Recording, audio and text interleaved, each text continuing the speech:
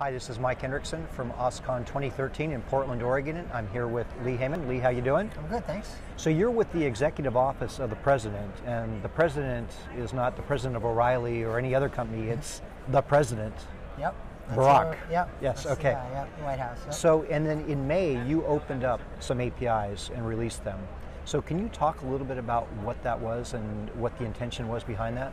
Uh, so yeah, the idea behind that is that we know through the petition system that we have a lot of uh, a lot of data in there about uh, folks that are you know wanting to engage with the White House, interact with the uh, with the government, um, and that data has value not to us, well, yes, to us, but also to sort of other folks who want to engage and folks who want to, you know, really affect change. And so uh, we would get a lot of questions about, you know, what what they could do with that data. And so we you know, we put it out there because it really helps people sort of shape their strategy for for affecting change and for uh, for advocating for change and so forth. And so uh, it's been a really positive experience. We've held uh, two hackathons uh, at the White House uh, for people to like work on projects and kind of come up with things they could do. There was a lot of like mapping and data visualization, a lot of um, you know sort of demographic and trending analysis, um, and really sort of just lots of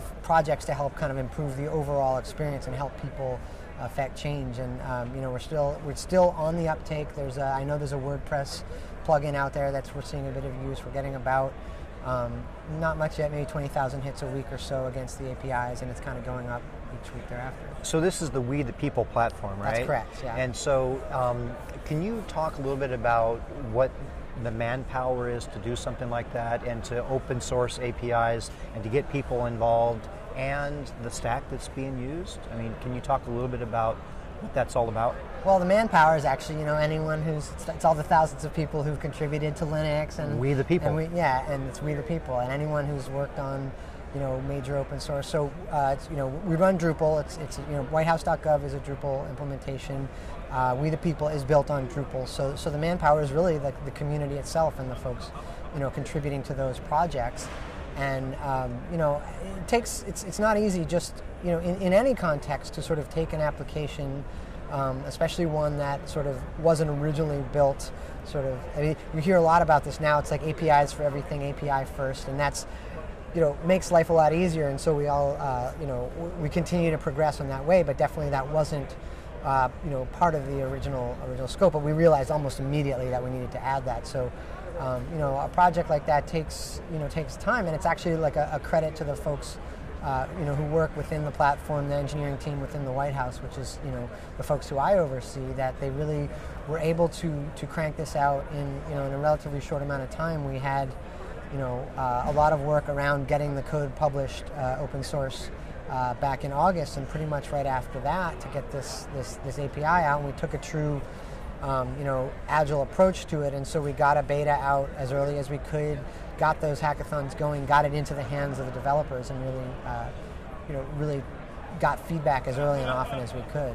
So you showed kind of a funny video today of uh, Barack Obama saying. Web API or API? What, yeah. what, what is an API? Does he now know what an API is?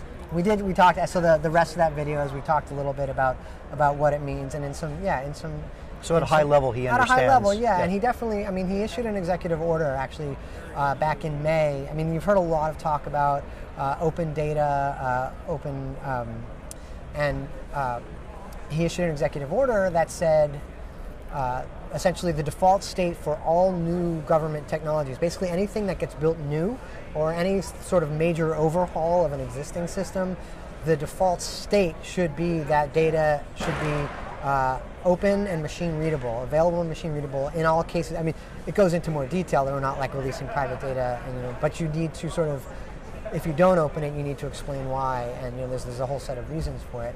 Um, but yeah, I think he gets it, and he gets the value of this, and not just to you know improving the quality of, of engagement and interaction between the citizens and the government, but just also how much of this technology, because it's funded with taxpayer money, is really, you know, it's really the, the citizen, you know, owns it, and it's really kind of a credit, and it's something we're you know focused on is actually making as much of that available to you know to the people. So words like flexible and transparent and open have been used for quite a while, um, and they haven't typically been associated with government. now all of a sudden it seems like the, the whole mantra behind open source is moving into government. Is that because there's really no choice because it's so complex and big that we need open source to help run this country or?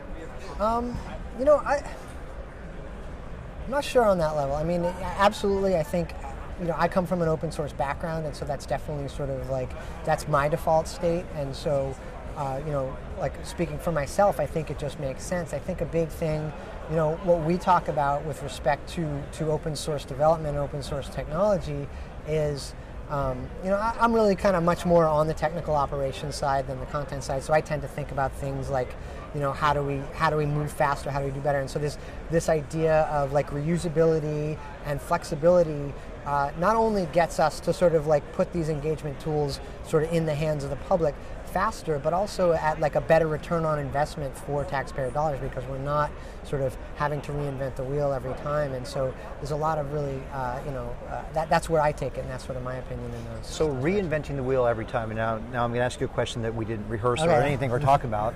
Um, reinventing the wheel every time. What happens in four years from now if a different party or a different president doesn't have the same view of we the people?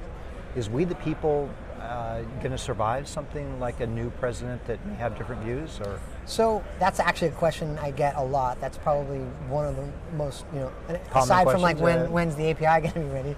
Um, you know, again, speaking like my perception of that is that I think um, I talk about APIs a lot, and I think that's really the key. That that um, this is a, a essentially a service, you know, being sort of put forth and when folks outside the government, and this is this goes for like all of the open uh, open data concepts and all this, you know, making data available, machine readable. When folks outside the White House, outside the government, start investing their own resources uh, in like uh, building tools and apps and widgets against these APIs, and actually engaging with this this open data uh, these machine readable data sets that it becomes something that you can't just turn off because yeah. Yeah. people in the private sector have invested their own time and, and, and yeah. so it becomes a much harder thing to, to can't just turn off the spigot at that point. That kind so. of goes around your whole write API idea too. If you have the read and then you have the write, you're creating an ecosystem that's being built around the government data and processes. That's exactly what we're hoping to do, absolutely.